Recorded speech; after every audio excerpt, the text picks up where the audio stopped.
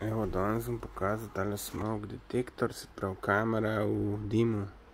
Skrita kamera na sredini ima pir senzor, zaznava toploto. Mm. Se pravi, naj bi šel spat, ko ni ljudi, a ne. Tako bi prehranil energiji. Pa imaš app za na telefon, da lahko gledaš v živo, imaš baterijo, obljubljajo en mesec delovanja kaj, samo to je bla bla bla.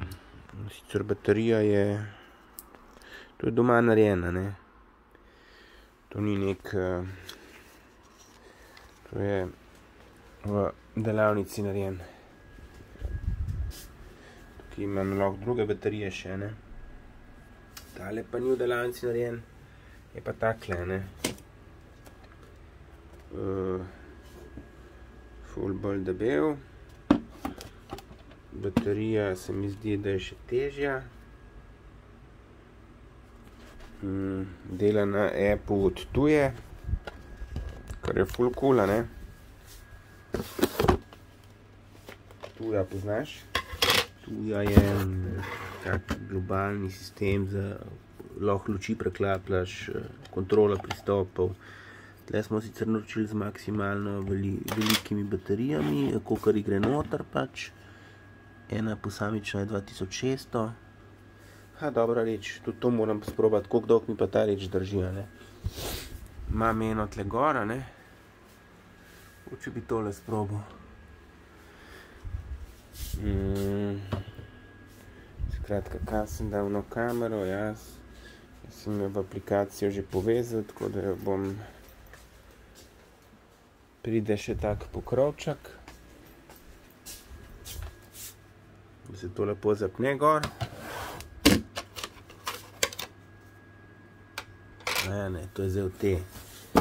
Ta, ta je pa druga reč.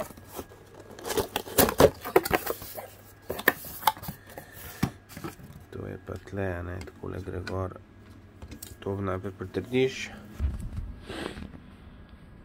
Pritrdiš, potem pa jo zapokaš gor. Kakor tole tudi. Jaz bom zdaj brez tega pokrova dal gor, ker mene zanima, koliko časa mi bo zdržala. Jaz sem visok, tako da si bom, bom tvegal, da ne pade teh štiristo evrov. Ja, toliko hočem imeti za to kamero. Drago sem jo plačal.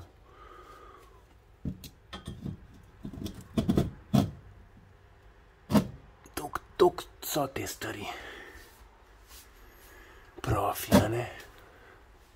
Imaš pa kamere za sto evrov takele.